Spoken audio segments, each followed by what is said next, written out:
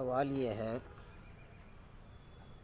कि अगर किसी गैर मुस्लिम के पास कुर्बानी का जानवर हो और उससे उम्र के बारे में मालूम किया जाए, क्या उसकी बात का एतबार किया जाएगा या नहीं किया जाएगा?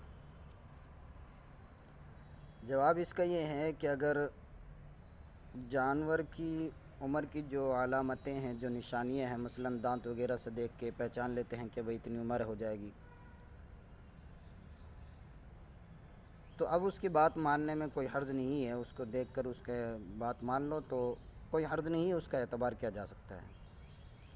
लेकिन अगर कोई अलामत न और वो कह रहा हो कि भाई इसकी उम्र ये है तो फिर उसमें यह है क्या इंसान एहतियात बरत ले अगर आपको शक हो रहा है।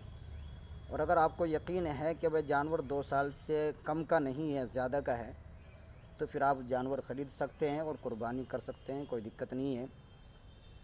लेकिन अगर नहीं है तो उसमें फिर एहतियात बरतें। अगर अलामत चमक रही है, मसलन दांत वगैरह से देख लेते हैं, कोई किस तरीके से देख लेता है, कोई किसी तरीके से, कोई सींगों के ज़रिए पहचान लेता है तो जो माहिर फ़न है वो उनको अपने साथ ले जाए और वो देख ले कि जानवर कितने साल का है। और आप जब वो बतला दे और उसकी अलामत आप देख ले कि हाँ यकीनन ये दो साल को कि, दो साल के जानवर की अलामत है तो अब आप को कोई दिक्कत नहीं है, कोई हर्ज नहीं है, आप जानवर ख़रीद सकते हैं और उनके बात पर एतबार कर सकते हैं। और अगर हाँ कोई अलामत निशानी नहीं मिली तो फिर आप एहतियात करें। ज़्यादा बेहतरीन सदका जारिया हासिल करने के लिए इस वीडियो को शेयर करना मत भूलें। जजाकल्ला